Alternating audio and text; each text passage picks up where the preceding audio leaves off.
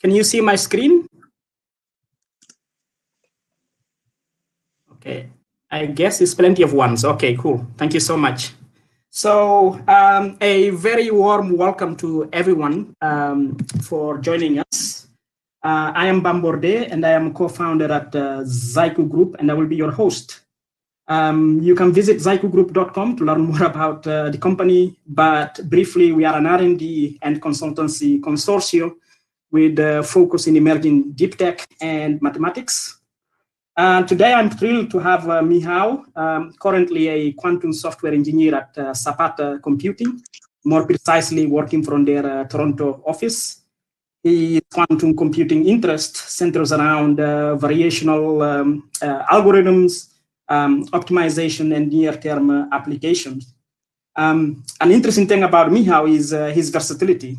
He comes from a physics, machine learning, and engineering background, and this is very clear from his um, um, from the work he has uh, done uh, that he's uh, kind of uh, uh, leveraging his uh, multidisciplinary skills to try to bridge the gap between research and engineering, software engineering. This is very interesting because it helps drive innovation faster. We all know that there is still um, a gap between fundamental research and industry, even for the applied subjects.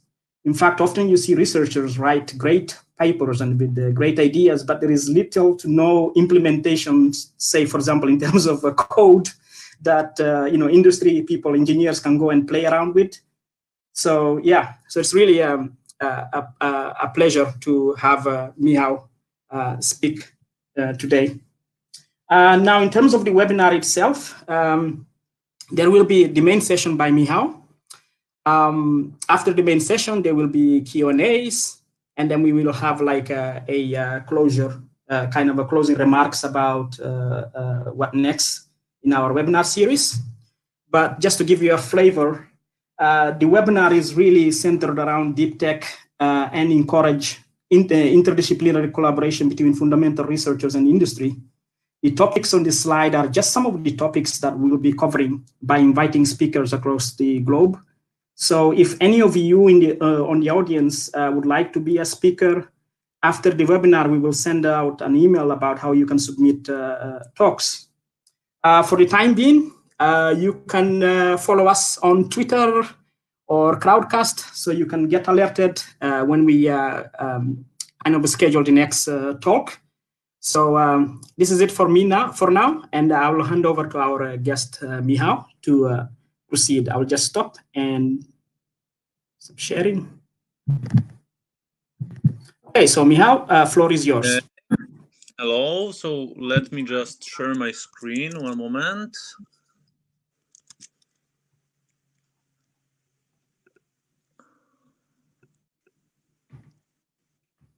Okay, do you see my screen? Yeah. Uh, type yes if you do. I like this system.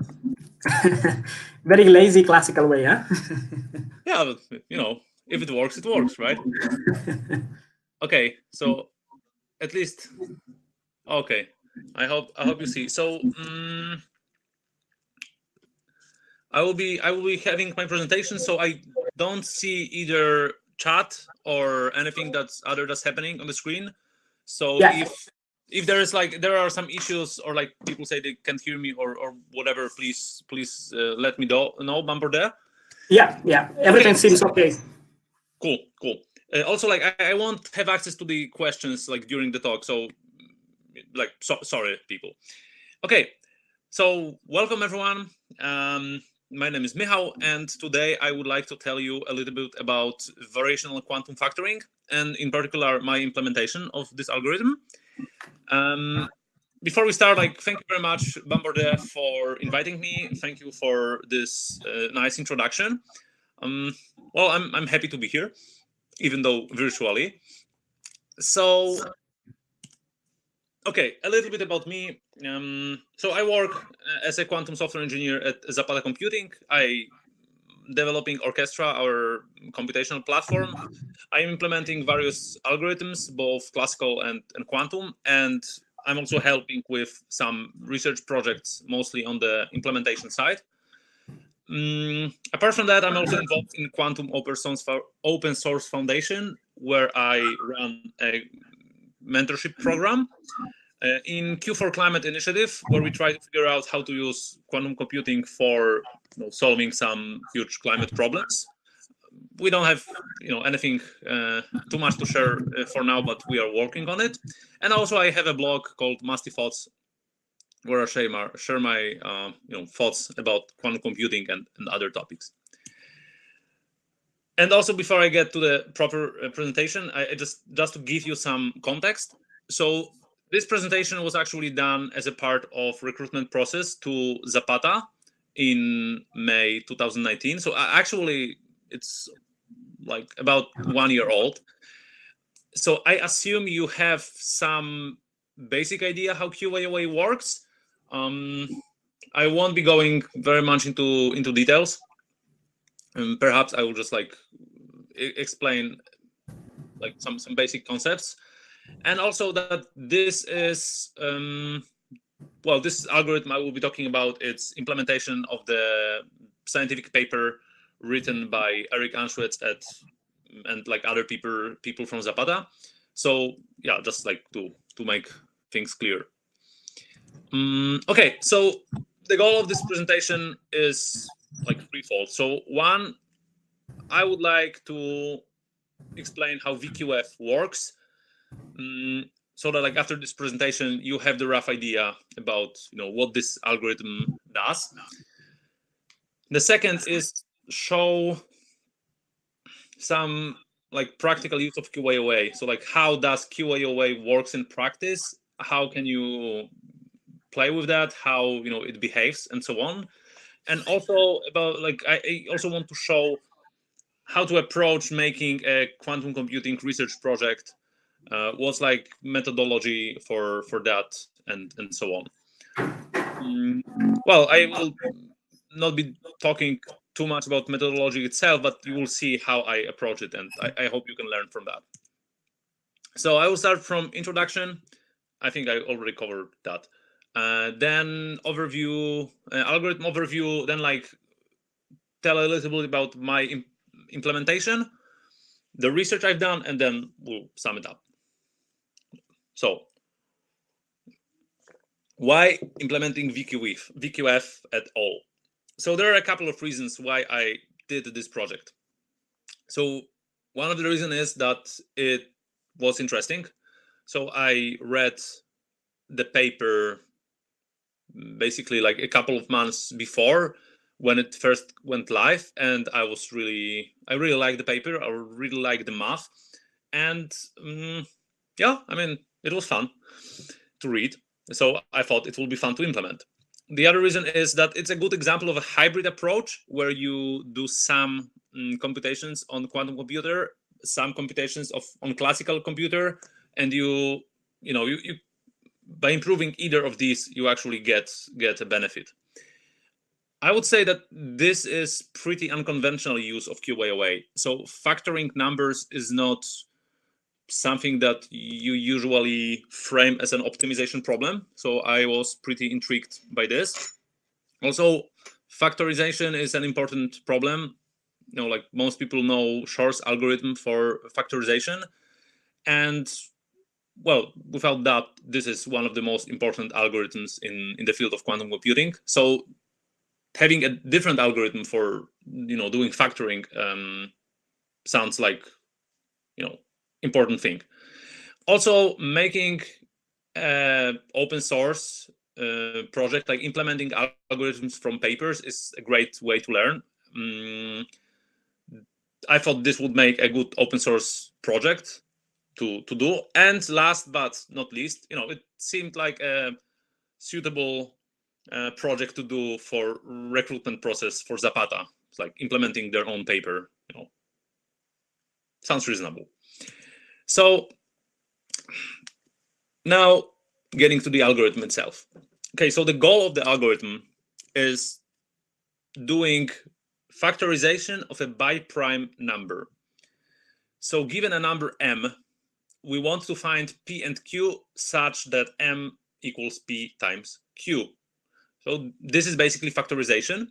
um, one caveat here is that we actually care only for biprime numbers. So number which are product of two prime numbers. Mm, we don't care about, you know, m equal m equals p times q times r times s times e t. Um, because it turns out that you can always kind of transform your problem to to biprime factorization. And this is also more uh, important from the point of view of cryptography if okay so i will probably so i will go through the whole algorithm and if at the end something's unclear then i will like tell you to to ask me questions in the chat and i will be answering them. Um because um, like some things might be unclear at first but then i will be keep, keep explaining it. So you know don't don't be afraid so the overview of the algorithm is as follows. So we start from a number m. Then we perform pre-processing which basically um, creates a set of clauses. So clauses are like let's say like like equal like, let's say like equations.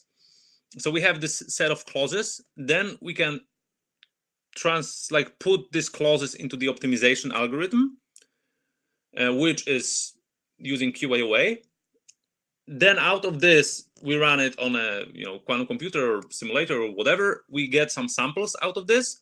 Then we do post-processing and analysis of the samples and finally we get you know final result right? So what is p and q? Um, now let me tell you what's the mathematical representation we use here. So we are dealing with um, binary numbers. So m is equal to you know this sum which is basically just decomposition of the number into its, its binary representation. So mk is just like kth bit of m right? Same for pk and qk. Also if you write this write like the whole equation m equals p times q you will get a set of equations. And i will tell you in a moment like how do you make this set of equations. Um, but basically these equations looks like like the first one here. And then what we do in the um, vqf is we say okay this first one you know it's equal to zero right? So this is like a regular equation but what we actually want to do we want to say it's equal to some constant ci right so this is this clause. So we create a set of clauses like this, and ideally we would like them to be equal to zero. So we want to see to be equal to zero. So then we can have our set of equations transform into an optimization problem, right? Optimization problem where we try to minimize the sum of squares of CI. Why do we do that? Well, we do it because um, we don't know, you know, all the values of pk and qk a priori, and we want to use optimization algorithm to um, solve this problem. And you know, this is just the way you can you can frame this whole problem of finding right pk and qk, uh, qk as uh, as optimization. So to make it a little bit more concrete, um, I know it, it at this point it, it might be confusing, but here is an example of these equations and example of how do you perform binary multiplication. So first things first, like binary multiplication is basically the same as regular multiplication. We usually work in the base of 10, but the same method applies to the base of, um, of 2. So we have two numbers. I hope you also see my mouse. If you don't see my mouse, please, uh, Bamborde, please, please let me know. So we have number P and Q. In this case, we assume we know the length of P and Q. That's why we can say that, you know, this number here is one and this one is one as well. So we also know the last bits because numbers needs to be even, right? If the numbers were odd, the, the problem is trivial because we know that one, one prime is two and the other is whatever. And, you know, we are, it's pretty easy to, to spot if the number is even or not. So we know that the number are odds. That's why we have like one at the end. So then we just like perform multiplication. So the first line is, you know, one, one times one, P2, P1, and one. And we get the first line. Then the second line is Q1 times P. So it's Q1 times 1, P2 times Q1, P1 times Q1, and Q1 times 1. And so on and so on. Um, then we have carry bits. I will get to this in a moment. And then, well, we know the result of this multiplication, right? We know M, M which is 143. So we can write down all the bits here. So we know that, you know, 1 equals 1. Then we, this is trivial. Then we can like add and know that P1 plus Q1 equals 1. But and as, as you can see here in this in this equation. But this actually is not entirely true because if well in this case um okay so because if p1 is equal to 1 and q1 is equal to 1 then we will actually get 0 here plus some carry bit z12 so this is like in the regular multipli multiplication or like addition, if your sum is too big, right, you just kind of move it to another column, to the next column to the left. And this is where these carry bits like come from. So if we had like one and one here, we would get zero here and one carry bit here, right? So in this column, for example, if all of the bits here were equal to one, so one, one, one, one, and actually one, then we would have to move one carry bit to this column and one to this column. And if we proceed and proceed and proceed, we finally get to a set of equations like this. Okay, so I hope this is this is clear, mm, or at least you you get the, the general idea. So now, how do we get from these clauses to something that we can feed into our optimization algorithm. So basically, we could just like create clauses out of these equations, but there are some rules that allow us to make the equations much simpler. So for example, we know that if we have an expression of this form, so x times y minus 1 equals 0, well, this can be true only if both x and y are equal to 1 we deal with binary numbers, so they can be equal to like either one or zero. So then we know the values of x and y, and we can substitute these values in all the equations, look at the equations again, and see whether we can apply some other rules. So these are like basic basic rules that I took from the VQF paper. And basically, after applying all the pre-processing rules, we have much smaller set of equations, much smaller set of clauses, and well we can we have like simpler optimization problem to to solve. So this is one place where this um, hybrid approach uh, comes in. Because this is like one of the things that we do on the classical computer right? We, we don't there's like nothing quantum about it. From from this point on on you can just take these clauses and like put it into classical solver and use classical optimization algorithm to, to solve this as well. Okay, and then after we have clauses, we want to translate it into something that we can feed into a quantum computer, we can feed into QAOA specifically. So what we do, as, as you might remember, we had here this um, this uh, last equation here so that we take a square, like a sum of squares of clauses. So this is exactly what, sorry, what we are doing here. We take each clause we have, square it, and then add them all together. And this is our Hamiltonian. So like actually this is not yet our Hamiltonian. This is um, so this is how this equation looks like. This is our cost function, let's say. This is how this equation looks like when we like write everything out. And to make it a Hamiltonian, we need to substitute each of these bits, like AI, so either PI or QI, with an operator like this, where this sigma z is um, Pauli z operator. So this basically the is a way to construct an Ising uh, operator, an Ising Hamiltonian out of set of clauses. So right now, at this at this point, we have an Ising Hamiltonian and having Ising representing our uh, factoring problem.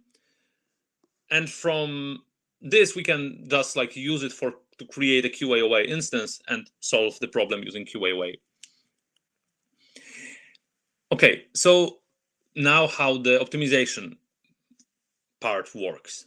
So we start from the cost Hamiltonian, um, which I just described. QAOA also requires having a mixing Hamiltonian, um, sometimes denoted as HB. Then we basically create a QAOA circuit out of this. Then we use some optimization algorithm to search for some good initial parameters. With this, um, oh yeah, so, sorry, like good initial parameters, we, we actually do grid search for, for doing this. Then we feed these good initial parameters to BFGS optimization algorithm, which is like classical optimization algorithm. It allows us to find better parameters so we go back to the QAO circuit, replace the parameters, add another layer, search for um, another set of good initial parameters for another layer, optimize this layer with BFGS, and you know, again and again, until finally we we get final parameters. We can we run our circuit with the final parameters, get a final quantum state, measure it, and get some results out of this. So, okay, so here for those of you who are not very familiar with QAOA, so QAOA um, is an algorithm which takes two, which we, we which has like the following construction. It has layers, and each layer is built based off cost Hamiltonian and mixing Hamiltonian. And each, each layer has two parameters. One is called gamma, and it's associated with cost Hamiltonian, and one is beta, which is associated with mixing Hamiltonians. So when I'm talking about parameters, I'm talking about uh, beta and gamma. We also sometimes call them angles. Mm. Yeah, so that's basically how it how it works. Okay, so again, how it works in case of VQF. So this is just QAOA part, and this is VQF. So we perform pre-processing, then we create Hamiltonian, then we perform angle initialization, and then we perform optimization. And what's what's what's important is um, that if we like show the algorithm in this like modular way, we see that if we improve any of these steps, uh, we basically can get better results, right? So perhaps it's like it's always good when you when you think about an algorithm that you have. Uh, it's always good to think about it in, in a way of pipeline because one of these boxes here might be might be a bottleneck. So if you you you find which one is bottleneck. And if you improve this you will get like the most gain out of out of it right? So for example if the pre-processing is, pre-processing is actually very naive then probably it's more worth spending some time to improve pre-processing rather than the optimization algorithm or vice versa. It depends. Okay so at this point is this more or less clear or are there any questions? So i will for a moment, I will go back to the chat. Um, okay, so any questions? Uh, there is no, okay, there is one question on the Q&A right now. Why you squared and add the clauses to get the Hamiltonian? Okay, so this is a standard procedure in optimization. Uh, okay, so I will get to the, oh, sorry, I will get to the slides. Mm -hmm. Here, so basically, uh, this is standard procedure in in optimization because you want to have a function which um, like behaves well, basically. And if you have a square, then well, square has this nice property that you know no matter like parabola has this nice property that if you move from to right or left from minimum you kind of are moving there, there is a minimum of this function right? And that's one thing and the other that like the values are always positive. So you know that like the minimum is actually zero. Um i would so that's like basically why we why we want to square things. Uh, it's it's like standard thing like you kind of do it very often. And why we make a sum out of this? Well because you have a set of like you have all these different clauses and all these different clauses represent the whole problem. So you know that if this is equal to zero then you have the right solution right? So the best case scenario is if you sum all the clauses and find such parameters of qi, pi, and z that this sum of squared clauses is equal to zero. So that's basically that's basically it. Okay, so I will tell you briefly about the tools I've used for this project. So first, I used uh, PyQuil stack for this. So I used QAOA implementation from Grove, which is a library of algorithms built built on top of PyQuil, which in turn is um, a library, Python library for um, doing quantum computing, uh, developed by Rigetti Computing, a startup from um, California. And also I used their simulator called QVM, so that's basically what I what I did. I have not used any like real quantum computer. That's like the whole project is done on on simulator. So then uh, for visualization, I used matplotlib. For pre-processing, I used SymPy. So this is a Python library for symbolic um, calculations.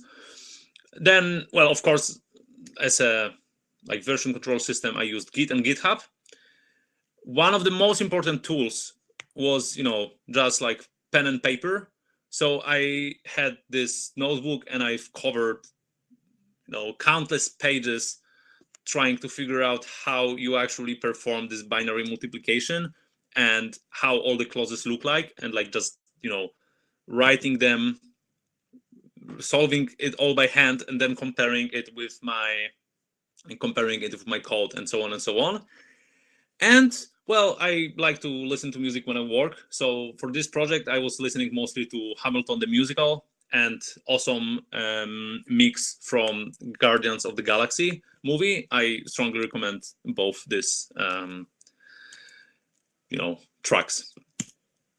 Okay, so now implementation. So let me show you my GitHub repository.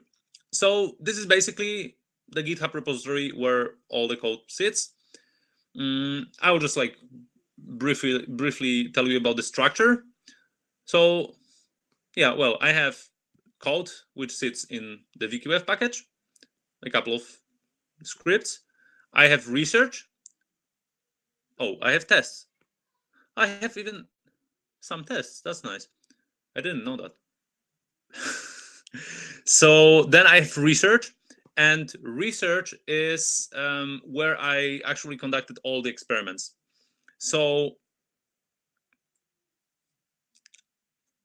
I did, whenever I did an experiment, I was putting all the code inside such like directory. And I also put all the results here, all the all the plots, as well as a report, um, which describes, you know, what I have found out in this particular experiment and uh, what are like some conclusions and and so on and so on. Um, so this is part of the okay ah, and one thing I, I tried to you know keep all the requirements um keep track of all the all the libraries i used and the requirements. So basically if you just like download it you, and you should be able to to just run it. And you have you you should know like which libraries versions of the libraries i used so it, it should just run. Um, so i try to make it as like easy to, to run for people. So I added README, I added requirements, and and so on and so on. And one thing I would like to um, tell you a little bit more about is the research process process itself. So this is the methodology um, as you've seen like i have this like experiments each experiment is in a separate directory each directory has specific structure so results code, and so on and so on. So this is basically the research methodology that we have started when I was working at Estimote, an IoT startup in Krakow. So we kind of came up with a similar methodology for doing research. Then when I came, uh, when I joined Bohr Technology, um, again another quantum startup, uh, I we, we have also used this research methodology, and it is explained, described in this file in one of the Bohr uh, repositories. And basically, the, the benefits of doing that is that a you have you know a clear structure, you have uh, you have reproducibility because in this case each repository has like copy of the code that was used to run it, like each sorry, each directory. So basically, if I find a bug month from now, I can go back to my code, fix this bug in like the version I used to produce some results, and rerun it all to see whether this bug actually influenced the, the results or not, and then like perform analysis um, of the results with with this correction. And well, I'm it, it really saves a lot of trouble and and hassle and just like makes things much more organized. So I really like this methodology. Um, if you like, feel free to to check it out. If you have any questions, I, I would love to to answer them. Okay, and so that's about the code. Maybe not too much, but uh, you can just like take a look at GitHub. Now I would like to tell you uh, more about the actual research I have done here. So I performed four experiments. So one was about pre-processing and getting it right. Another one was about um, checking whether optim optimization algorithm I have works, um, whether I can reproduce the results from the paper. Another one was about actually trying a better initialization strategy for the optimization and the last one was just like visualizing the the optimization space. So i will i will show you. So the first one was about the pre-processing.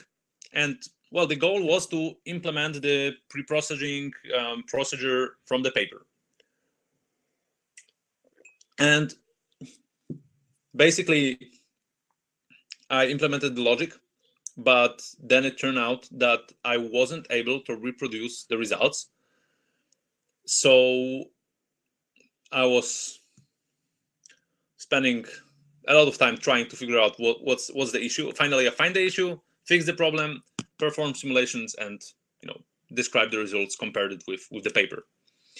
Okay, so I a couple of slides ago I have shown you some um, rules, like some basic rules.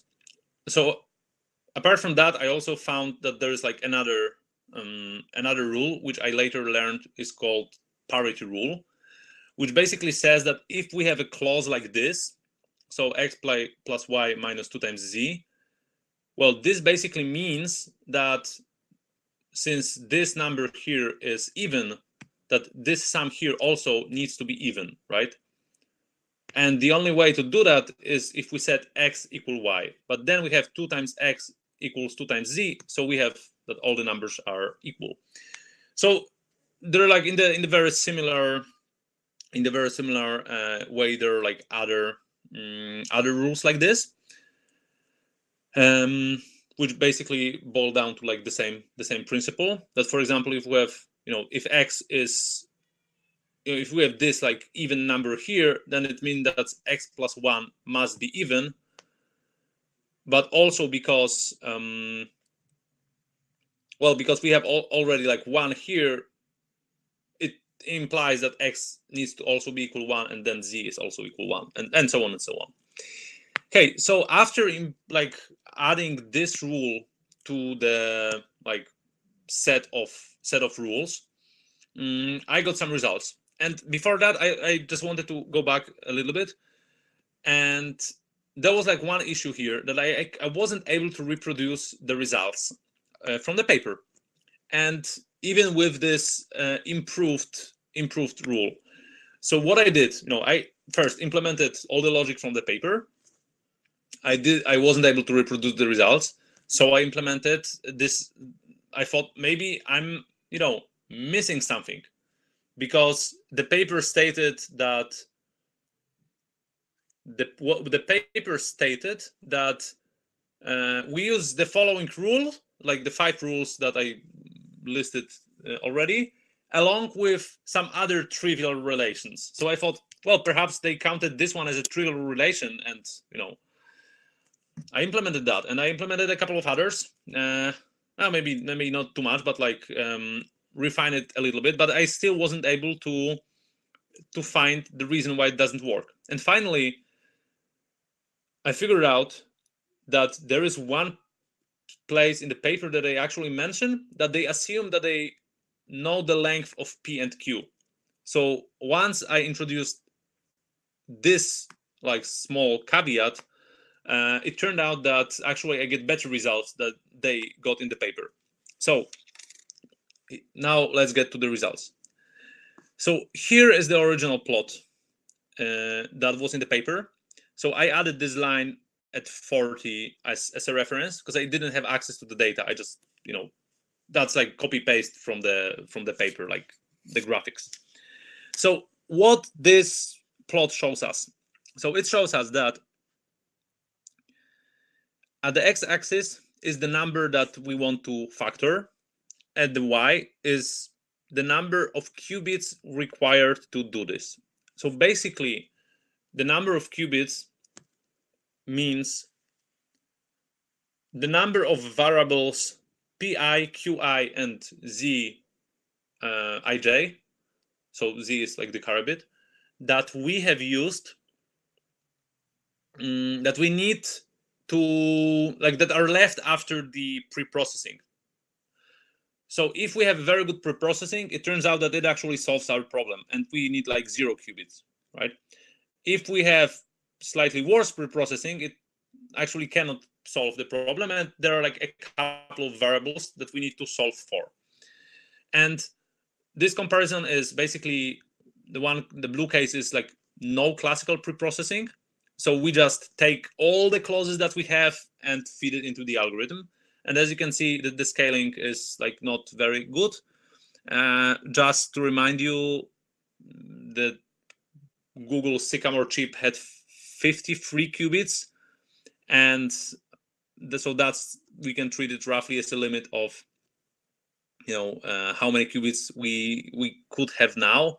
And well, here without any pre-processing, we actually for numbers which are like around 10,000, we can easily get up to, you know, 140 qubits or more, 150 perhaps.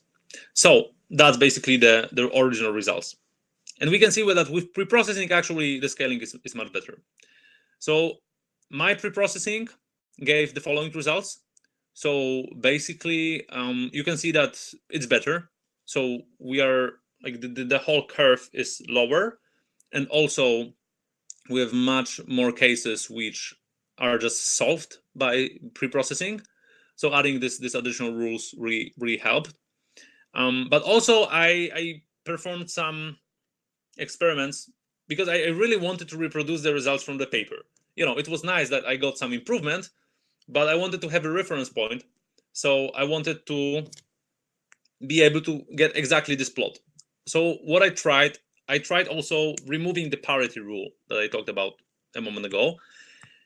And then the results were slightly worse than this, but still, well, different from the original plot. So there seemed that even though I tried, there are some implementation uh, differences here.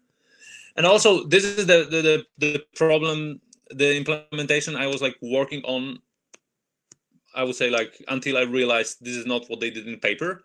So this is if we don't know the length of P and Q in advance.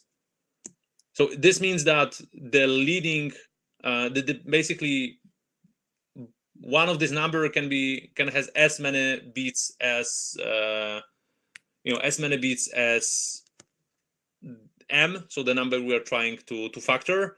And the other also has like half that many bits uh, which is usually is not the case. Usually there is like kind of balance and like they're they're shorter. But well we there might be like some bad cases. And uh, we if we don't assume this knowledge we get much worse results.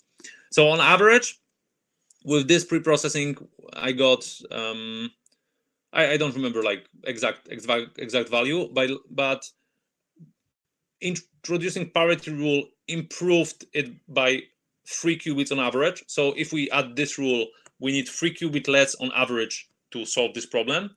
And if we know um, pre-process, if, if we don't know the length of P and Q, it turns out that we need 16 more qubits on average than in this case. So well, that was a nice result.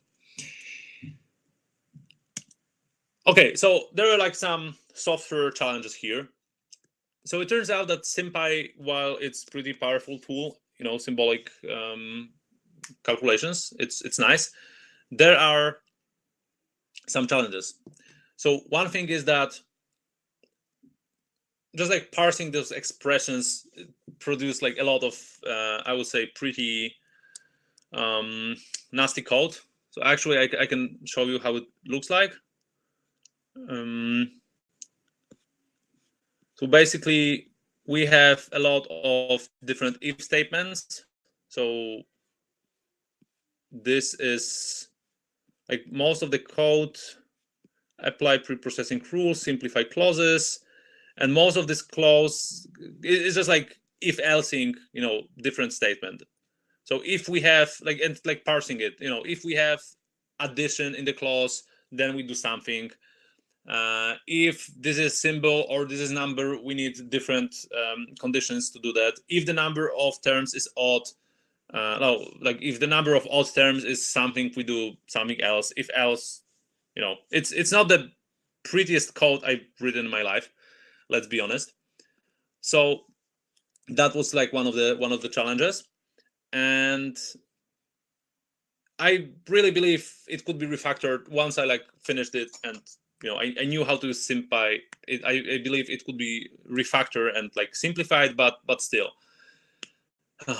It was it, it was some challenge. And also another pretty interesting thing from the software um, perspective was that SymPy introduced its own kind of randomness into the process. So for running exactly the same code, I was sometimes getting different results. And what was surprising was that even though I tried to set the seed parameter for random module in Python and for NumPy module in Python, still, so basically I should have the same results. Still, I, got like sometimes slightly different results for the same cases. Um, what's I what I think it came from was that I had some um, imperfect rules. So like I wasn't you know covering all the cases actually. So sometimes it processed it one way or the other. What's interesting after I refined the rules, uh, this you know this spread, uh, this randomness actually was smaller and smaller. Okay, so what are potential improvements here? um, for this code. I, I did. If any of you would like to contribute to that repository, I would be happy to to see that.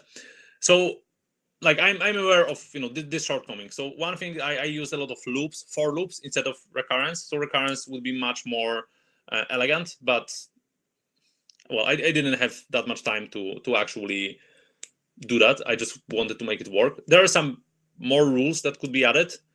Uh, also, the the parity rule is just like one huge if else you know statement monster, and it could be I believe it could be written in like much more compact mathematical form. Uh, oh, so adding more rules one thing, but like improving existing rules, like accounting for some edge cases is, is another. Okay, so this is about um, the pre-processing. So once again, like if you have any questions, I'd like to answer. Whoa, five questions. Okay. Okay, so uh, is it possible to use SAT solver to help? I have no idea. Can you explain how did you arrive at the Ising Hamiltonian? Um, I can do that at the end. What if QAOA gets close to the ground state? I will actually get there, uh, perhaps, or go at the end. Okay, the Zapata question also at the end, and approach is clear, but not the construction of clauses. Mm, so yeah, this might be actually important, so I will go back. Okay.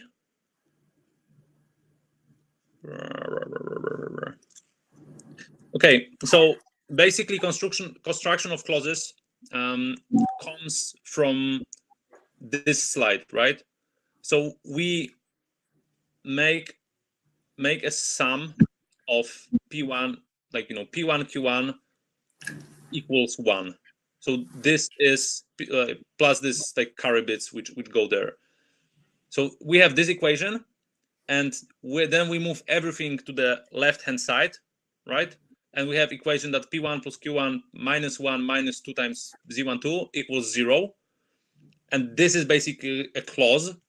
So instead saying this is equal to 0, because this is equal to 0 only for the like the correct values of all the P, Q, and Z.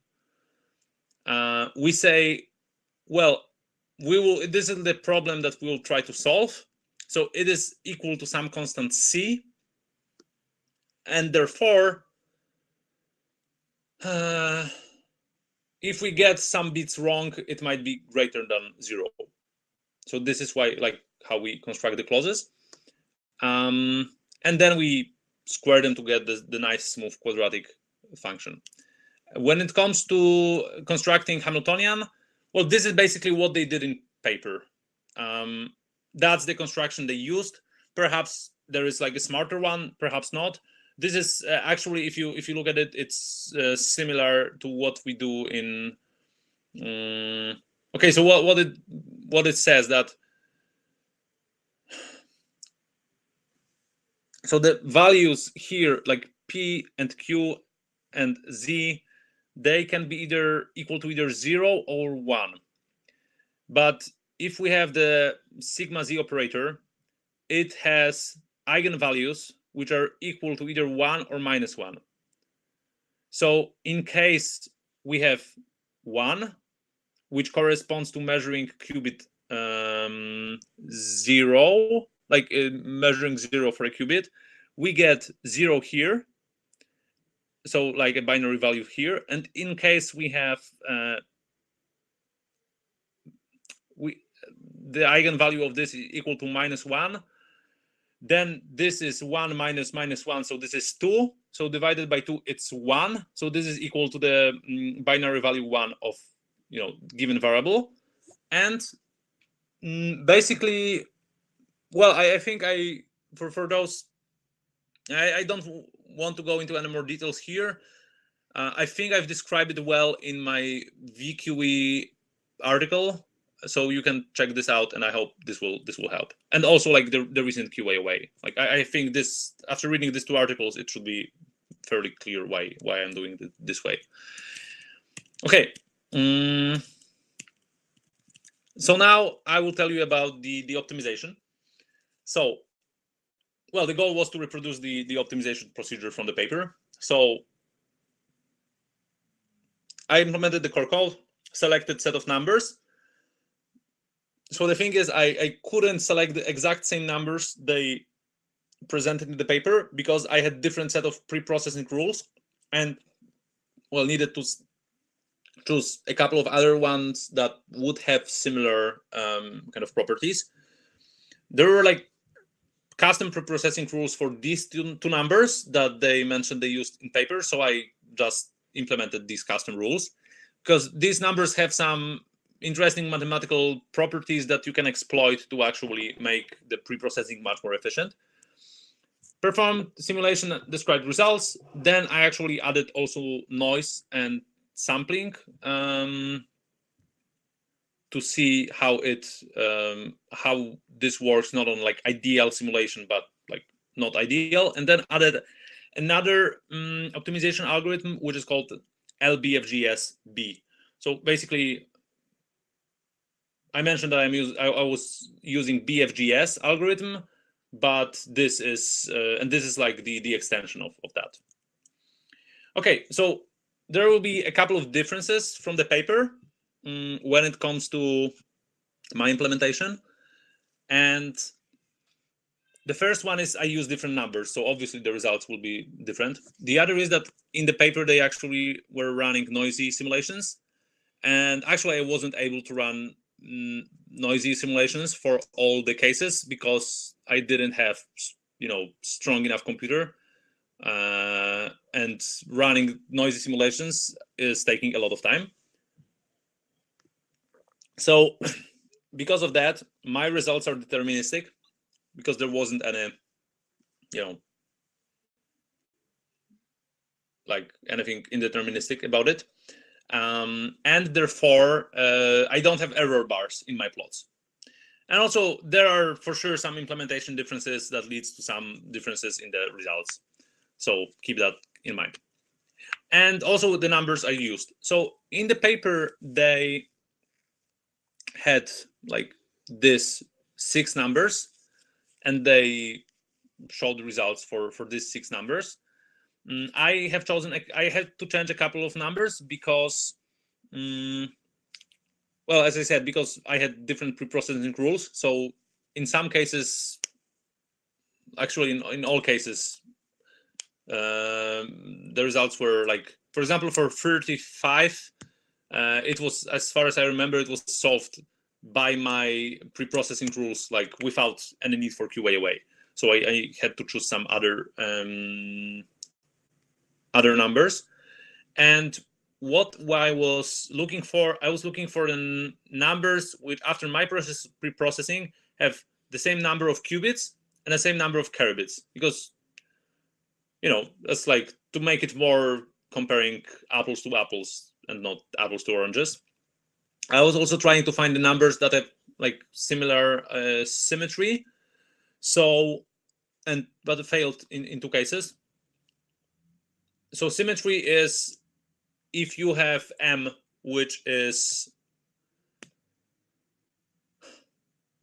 oh no, it's not about M. Symmetry is about P and Q. So if you have P and Q which have the same length, then no, it's not about. Oh damn! Sorry, I, I actually forgot right now what symmetry was. It was so. I think symmetry was about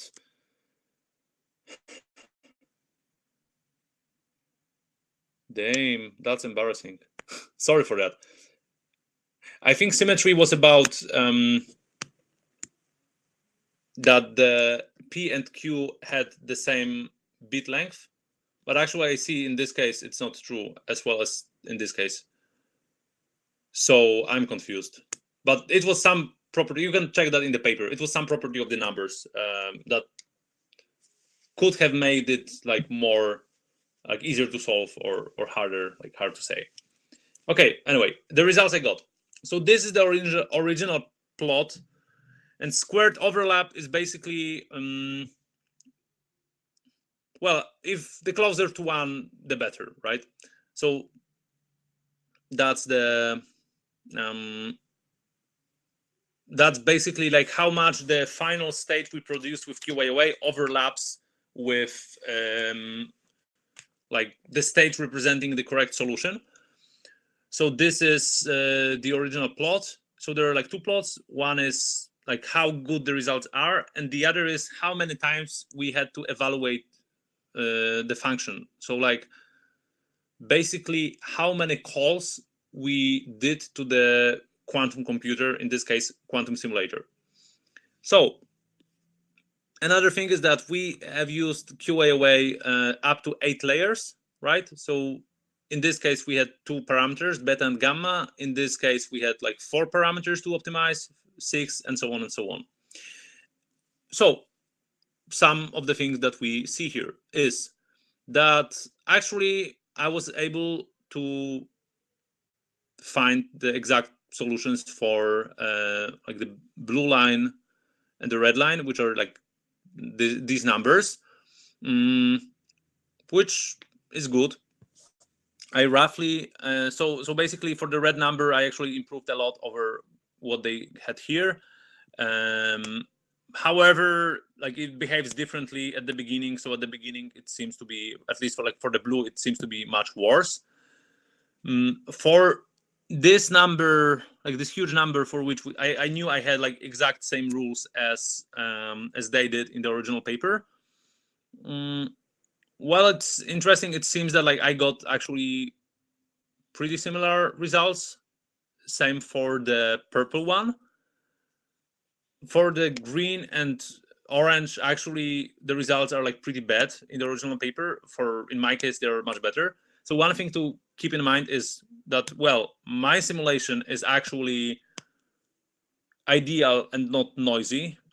So you know it's it's not exactly comparing the same things and the other i'm using actually different numbers so what we can see for example for this brown line is that even though i got around 0.5 and they got also around 0.5 i was running a simulation that was you know much uh, easier. Like it was it was pure, and they were running it with noise. So it kind of means that you know I, I should have gotten like some better results than I did um, because the, this case is easier. Anyway, well the results are not like that much different, right? So I was like not super happy with with with this, but quite happy um, because you know it's it's not that I, I got totally different results. However, the, the issue was with the number of function evaluations because they had I don't know I, had like basically five times more function evaluations um, than than they did. So here we are in like 800s and I'm in like 5000s, which is uh, well quite it's even more than you know five times. so this is quite a lot, and the, one of the reasons for that I, I didn't know it at the time, but one of the reasons was that um, they used different way of like that might be might be an issue that actually they used different way of getting the number of function evaluations than I did. There's like some way in SciPy that you can you can do that so this might be the reason for the discrepancy here. But uh, as well, it's oh, and the other reason was that I learned later. So I will get to to this plot. So this was for BFGS, and this one is for LBFGSB, which is like a different version of the same optimization algorithm. And as you can see, the results are pretty similar. Actually, even using LBFGS uh, B is like worse in especially in the case of reds because you see we we are like here um we like converge much much later um but well still like most of the results are, are pretty similar. Uh, but the number of function evaluations is much better. Like we are in much lower numbers. And actually after i learned later they, they actually used uh, after talking with with eric uh, they actually used lbfgsb in this uh, in this paper not regular bfgs so that's also why i get i'm getting better numbers. Like actually apart from these two outliers here um well we are roughly in the same in the same spot. Okay, so what could be done to make this research better? So this could be run with uh, noise. Uh, investigate BFGS discrepancy. Well, I already covered that. Different optimization methods could be could be improved and could be implemented, and we could, you, you know, we could try to use um, just like different optimization strategy. I don't know, uh, SLSQP or some how it's called um, adaptive optimization or something else. And also, what I would like to do someday would be like circuit analysis. So basically, analyzing how deep the circuits are in this case and how many gates like different types of gates we are using to create the circuits okay so the next thing i did was um, changing the initialization strategy. So this is also something uh, when i was implementing it i sent an email to to eric um, with some questions because i wasn't sure what exactly they meant by like certain you know methods in in the paper and he suggested me that like one of the improvements could be done would be using this strategy from from this paper. And it's pretty interesting. So i will show you a little bit how this works what they found out in the paper and what results i got. So basically what they found in the paper is that if we run layer by layer like if we run QAOA and like optimize the parameters uh, the higher the number of the layer, the higher is the value of gamma. And also, the lower the um, the higher the number of layer, the lower is the value of beta. And therefore, um, so the the initialization strategy that has been used before, like in, in this research I discussed so far, was that after adding a new layer, we were using previous layers with the parameters we found before that are working best, adding a new one and running a grid search to find some good starting parameters for this layer. And then optimizing with BFGS uh, all these parameters of all the layers. But what, what they found in this paper was that actually um, there might be a more efficient way to do that. Instead of doing like grid search on like full uh, space of parameters, we could observe that actually uh, these parameters like seem to lie lie on line. So when we add a new layer, we can more or less like predict where uh, what the parameters for this layer should be, uh, both for gamma and for beta. So this like exactly how it works is uh, is described in the paper. But so what i did i i just took they're proposing two strategies. One is called interp the other is called fourier. And i used the interp one implemented it and checked how it works.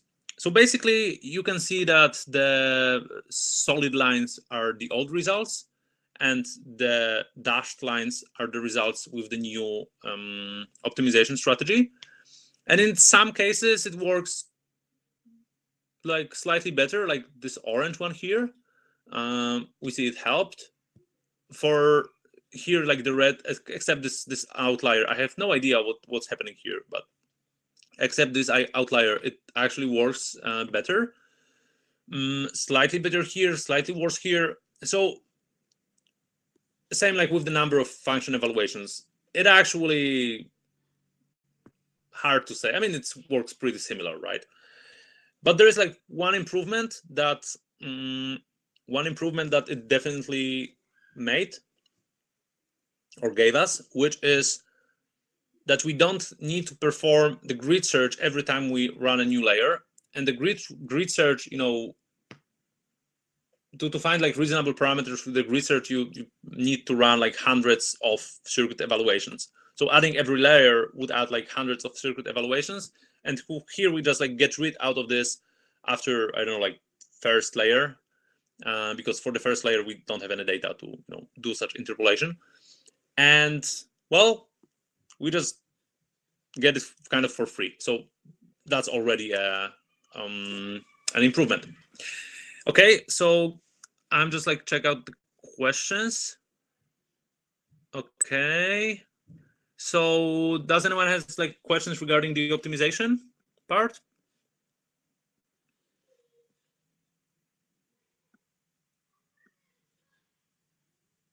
Okay. So if not, if yes, I will answer them later. If not, I will get straight to the last part, which actually I find uh, the most interesting. So this is visualization of optimization space. So at Estimote, we had this golden rule that if you are stuck with a problem, it means you are not visual, not visualizing it properly. So I wanted to just like see how the landscape of these functions, um, optimization functions look like in case of QAOA. So what I did, I did a couple of experiments. So for the six numbers I showed you, uh, I I used for this research, I plotted, like I I made a grid search right to find evaluate the value of the Hamiltonian at like each pair of parameters on the grid. And I think the resolution here was like 200 by 200. So this is like pretty, pretty decent. So if you remember, like zero means that we are like we have found correct solution, right? And the higher we are, the worse. So there are like a couple of interesting things to to be seen here and I kind of didn't like know that um, know that before. I mean, it surprised me to to actually like see this. But for some numbers, you can see that we've basically found the optimum with one layer. Oh, the, the important thing, you can only do this type of plots having one layer. Well, because then we have two parameters and the value which you can color code and if you try to do it in four layers, you have four parameters and visualization in like more dimensions than three is pretty hard. So that's why like we use only two, um, like only one layer. So as you can see for this problem, we can actually find um, zeros, right? So this is exactly solvable by using just one layer, but actually the others are not so no matter how hard you try it's like not possible to solve these problems with QAOA with one layer which actually uh, is also kind of described in the i think in the recent paper paper from google uh, like the, the i think it was it was described in the one by Ed Farhi. Mm, why no why why is what, what might be the reason for that? But for me it was like kind of surprise. Uh, i thought that you know there's perhaps my optimization procedure is not good enough but actually you know like just the depth of the algorithm is, is not good enough. So this is like the ideal case and this is the same in the log scale. So as you can see like another thing that you can like take from this plot is that well this some of these optimization landscape are pretty rugged and crazy so if you start from the wrong place, for example, here, uh, it's like easy to to get into some like local optima, right? There are like so many of them. Or in this uh, on in this plot for 2,893, um, well, it's like the same. There are like many local optimas. However, for two bottom plots, which are like the most like the, the clauses are like easiest let's say uh, most regular. Um actually the, the, the plots are like pretty nice. So i wanted to see how the noise is in, like impacting the the results. So for i tried two things. So one was that like actually noisy simulate like one thing was noise but noisy simulations require quite a lot of time. So i was running it with different noise parameters. And for 100 100 um, samples per point. So that's why resolution is is worse.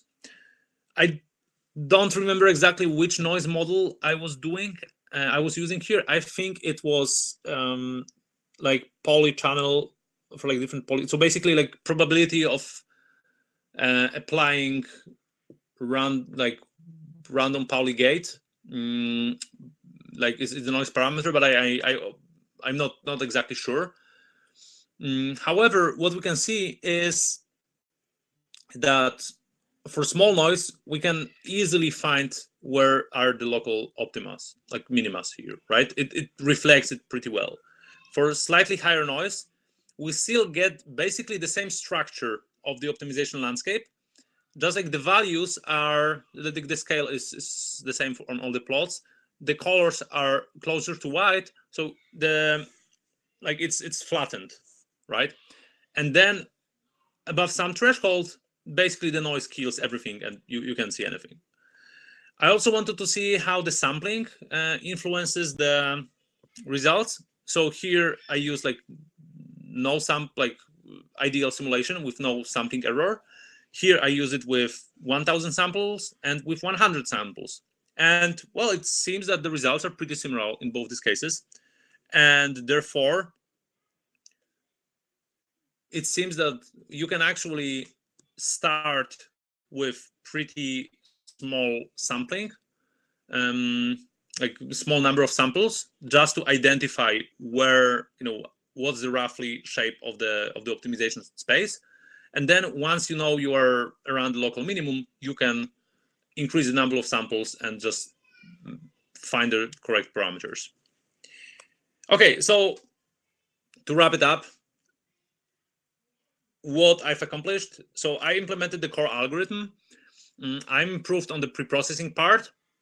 I've implemented additional initialization strategy compared to the to the paper, and I've learned a lot in the process. Well, also I forgot to mention I actually, uh, well, I have not exactly reproduced the results, but I reproduced like some of the results and I've learned one thing, which is that actually just reproducing the results of the paper, just having the paper in front of you, is like pretty hard because there's like a lot of things people kind of, even if paper is detailed, like people kind of leave out uh, because they think it's like obvious or they don't ex- describe it, you know, carefully enough so that someone can get confused or you just might miss something from the paper, or there are like implementation details that, that also matter.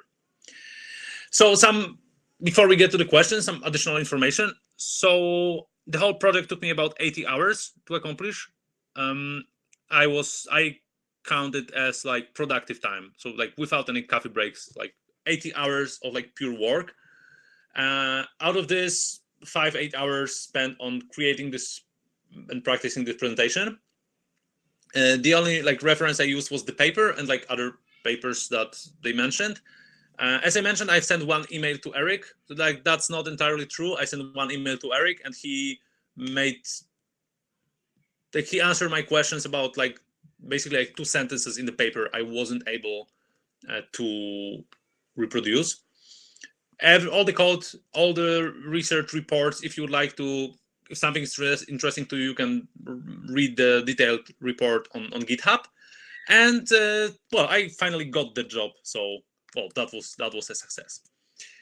If this topic sounds interesting, um, here are a couple of papers that are touching on on this topic of like optimization with QAOA, not not on factoring and VQF, but about basically the, the, the research I did around QAOA.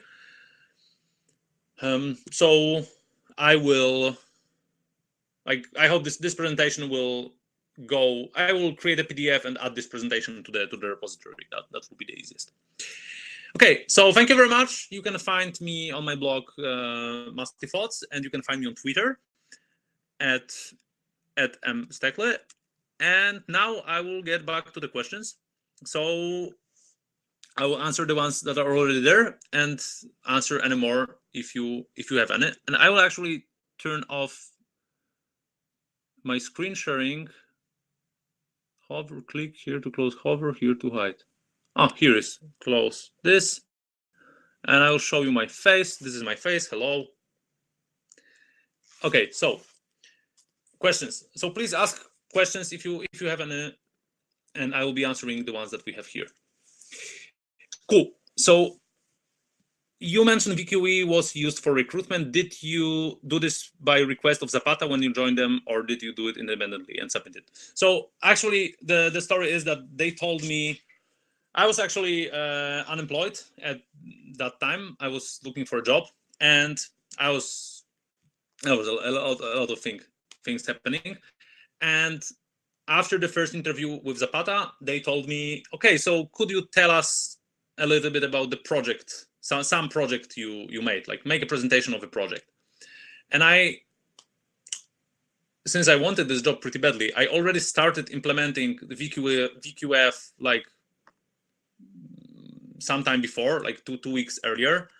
And i thought okay so i have like two weeks left for the presentation i need to give them. So i'll just like finish this project and present the results to them and you know see what what happens so yeah, it was like Zapata asked me to show some project I did. I have I could have chosen like some other I I had, but I I chosen to like implement this and you know do this. So I hope this this answered the question. Okay, what if QAOA gets close to the ground state but actually but doesn't actually reach it? Do you have an advantage in that case? Can you get P and Q? This is actually a very good question. So QAOA is quantum approximate optimization algorithm, and we don't really care about getting the exact ground state. So if you have, uh, as as you um, might remember in one of the plots, I was showing the squared overlap. So basically, it is like overlap with the ground state. So the better the overlap, and like the higher, like yeah, like the more overlap you have, the closer you are to the ground state. But at the same time, if you have, you know, 10% overlap and you can like, you are, you have basically like 10% probability that you will get the correct result. So if you take 1000 samples, well, one of the samples will be the correct one, right? So you actually care in case of QAOA, you actually care about only getting the results, not like the bit string, not necessarily getting the exact ground state. And therefore uh, you actually get advantage in that case even though you you don't have p and q. Uh, like you don't have the, the exact ground state. This is also uh, there is like this CVaR paper um, where they kind of exploit this this thing a little bit. How can this be applied in a real world environment? I'm looking at smart cities and the potential uh, for edge computing. Is there any case you believe this could be applied here? Uh, no. So basically, mm, the answer is that, well, this is still, you know, um, well, this is still still in in its infancy, and we don't have how to say that. Uh, we don't have any practical applications for QAOA. So you you have seen that I, I was using up to eight layers and it wasn't enough to solve the problem in some cases and these problems are like toy problems basically. Uh, in the recent google paper on the real hardware they were able to get up to three layers. So this is where we are with qaoa right now. So it's not really applicable right now in you know in any any way. We are working hard to, to make it but we are not there yet and the problem is that actually the first applications will be probably very specific and very like handcrafted for a given problem. So it won't be that like someone, for example, uh, you know, data scientist in like some company will be able to take, you know, this QAOA and apply it to like their problem in like health data or, or whatever else. Uh, because in the beginning it will require a lot of like expertise on the quantum end uh, to actually make it work. For example encoding the hamiltonian how to do it to minimize the number of qubits required and so on and so on. And this will be pretty hard. So well as the field progresses, it will get easier and easier. But I, I wouldn't expect um, and like out of the box solution for you know the, the next couple of years. Okay, so can you explain how did you arrive at the Ising Hamiltonian from the cost Hamiltonian? So I think I answered it, but if not, let me know in the chat. And also, if you have any other questions, please please ask them. Um, I would love to answer some more questions if you have. So, okay, thanks for for confirmation. No questions. Oh. I'll ask one. Okay. um, um, a few weeks uh, before the lockdown, I was on this uh, dinner with some um, um, bureaucrats from Brussels. You know, one of the topics they were talking is about uh, you know how to make Europe a center for quantum computing and so on. And one of the things that uh, came out is uh, this thing of uh, brain drain you know, of European talent to the other side of the Atlantic. So my question to you is, uh, why did you pick uh, um, um, uh, Canada? Why not another European uh, capital? Yeah, that's that's a good question. So I was doing when I was uh, I decided like roughly two two and a half years ago. I started to like look into some other career options than what I was doing at the time, and I decided to go into into quantum computing. And when I did my research, it turned out that at that point in time, there were basically three hubs of quantum computing companies. So one was uh, Silicon Valley, one was Toronto, and the other one was London. And basically, at that point in time, um, Toronto was just like the, the, the, the looked like the best option. So right now, I know there are like more companies in Europe, and it's like possible to you know find some places in Europe when when you can actually work for quantum computing companies. But back then, it, wasn't really the case. I mean, they're like a, yeah, like London would be London also could be could be good idea, but there were like other reasons why like me and my wife who liked Canada over over UK, which had like nothing to do with with you know like professional matters. So, I mean, in my case, that was that was basically it. But I'm actually I'm I'm happy to see that there are more quantum companies in Europe, and like this this job market is is actually growing in Europe. Um, still, I think it's, it's bigger on like the side of the Atlantic I'm right now on, but it's growing. I mean, I hope. You didn't mention Brexit, huh? I have not mentioned Brexit. Yeah, so that was like one of the one of the things. okay. Problematic. And uh, what would you advise to a young researcher um, coming up of the university? You know, some uh, to following your uh, your path from your own um, journey from being from um, academia to uh, industry. So um, well, I actually,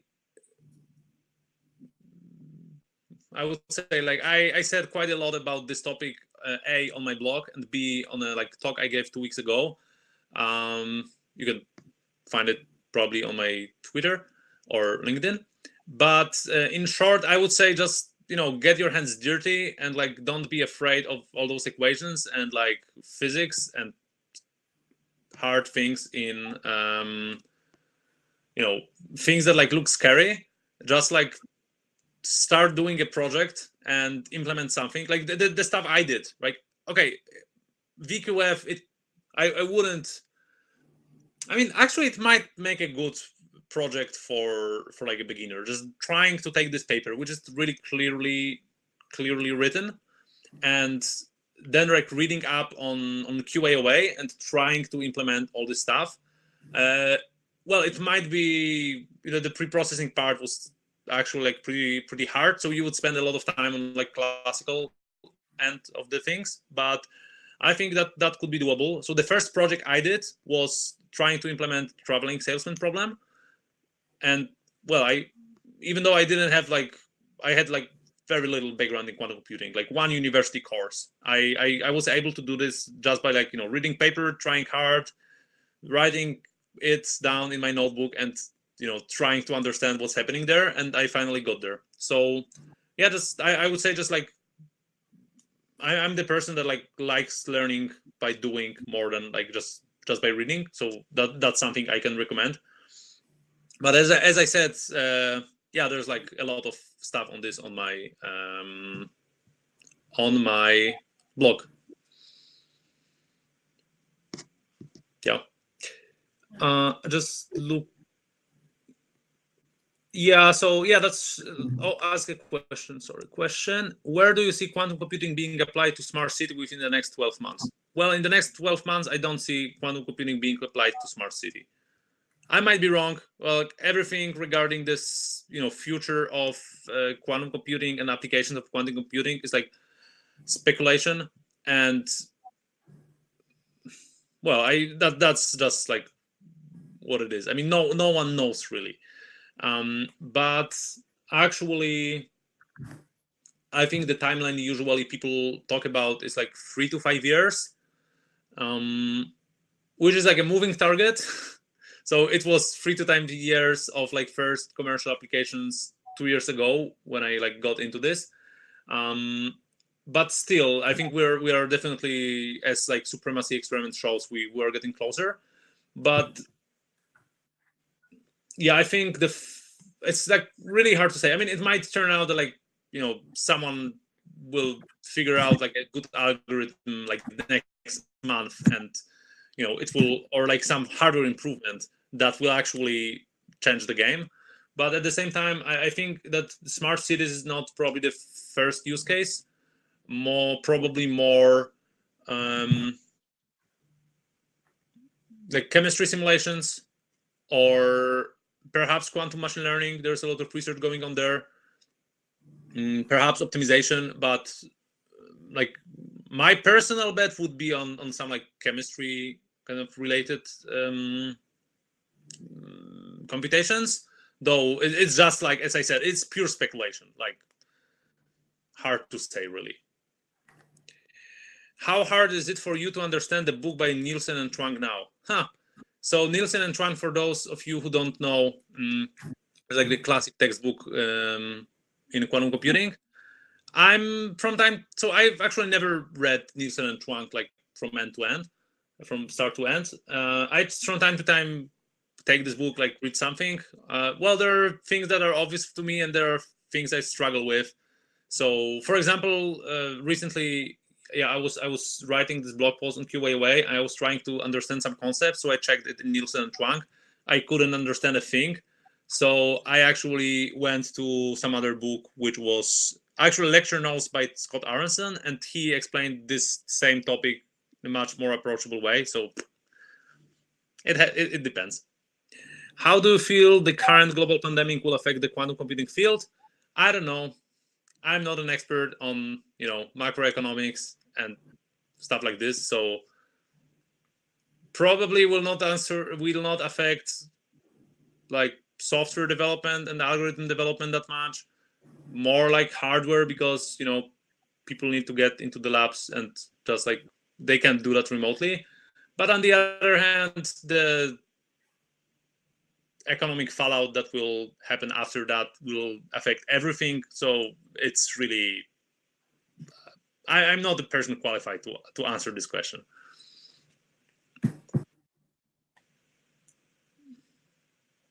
Thank you, um, Michael. Is there any other question uh, from the audience? Also, if you would like to give me some feedback, then uh, yeah, like you can send me an email afterwards or write me a message on like whatever platform you prefer. Um, I would be uh, grateful for that. Okay. No more so, questions. No more questions. So I hope you enjoyed the webinar. I certainly enjoyed it. Thank you so much, uh, Michael, for the presentation and uh, we look forward certainly of having you uh, do uh, more webinars with us. And uh, yeah, um, to the rest of the audience, we will share um, uh, resources, any extra resources that uh, Michal, Michal um, shares with us. And uh, yeah, you will also get notified uh, anytime we have uh, uh, the next webinars um, scheduled. So thank you so much. Uh, stay safe, and uh, I'll see you in the next webinar. Yeah, thank you very much. That was a pleasure. Bye. Have, have a good day.